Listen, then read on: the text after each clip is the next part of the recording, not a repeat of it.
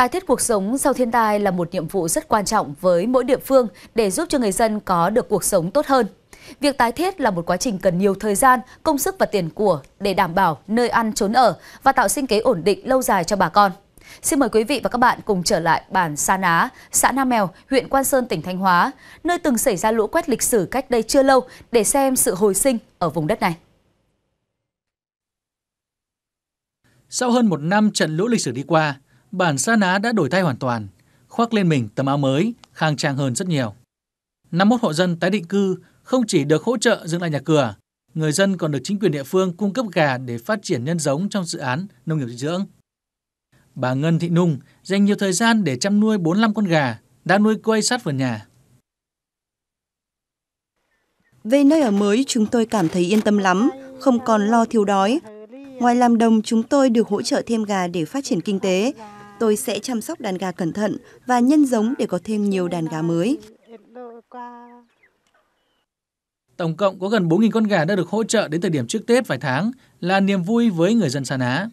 Không chỉ chăn nuôi, địa phương còn triển khai các dự án trồng rau sạch để người dân tăng gia sản xuất. Những khu vực trồng rau an toàn được hình thành và đều phát triển tốt.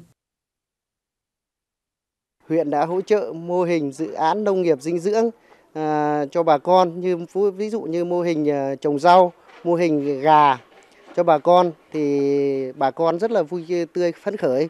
Từ những cái mô hình đấy thì bà con là à, trồng trọt, chăn nuôi để ổn định đời sống cũng như phát triển kinh tế hộ gia đình. Sau nhiều nỗ lực xây dựng lại hệ thống thủy lợi, nạo vét bùn đất, người dân bản Sa Ná tiếp tục trồng lúa trên những cánh đồng từng bị lũ quét vùi lấp. Từ sáng đến tối, người dân chăm chỉ cày bừa để hướng tới những mùa vụ bội thu trong năm mới.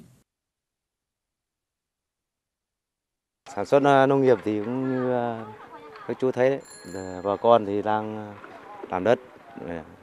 Trước thì có số nhà thì cũng trôi hết bây giờ là à, ban quản lý tức là à, động viên các nhà còn À, chia lại à, cho các nhà mỗi nhà một ít năm nay thì à, hết tết thì nó sẽ ấm dần lên có thể là năm nay thì mùa màng sẽ sẽ tốt Tính đến nay, bản Sa Ná không còn hộ nghèo, thu nhập bình quân đầu người của bà con ở đây cao hơn hẳn các bản lân cận, đạt 54 triệu đồng một người một năm.